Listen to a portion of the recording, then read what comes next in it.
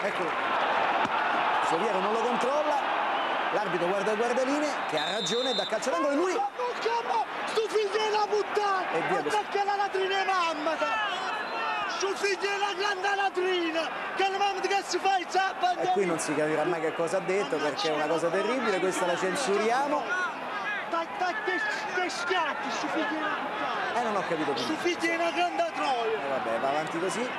Ma guardate la faccia del povero Guardaline che aveva ragione. Aveva ragione il povero Guardaline. È stato insultato per 30 secondi di seguito, sono esattamente 30 secondi, ma lui aveva ragione. eh,